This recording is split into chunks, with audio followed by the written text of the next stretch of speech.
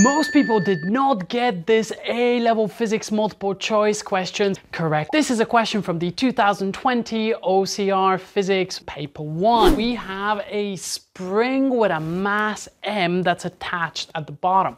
The question is, what is the relationship between the elastic potential energy and the mass attached to the spring?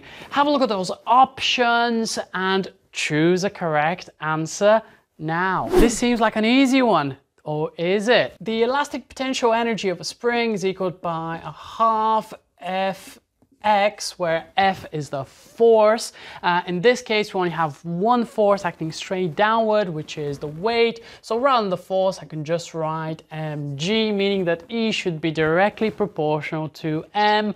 Therefore, the correct answer should be C, right? Well, wait, no, I can't even take that. So remember, the extension x depends on the amount of force that we've applied. So we need to look at this problem from a different angle. Let's use our other formula for elastic potential energy. Given that F is equal to kx, we can say that the elastic potential energy is equal to a half times k times x squared.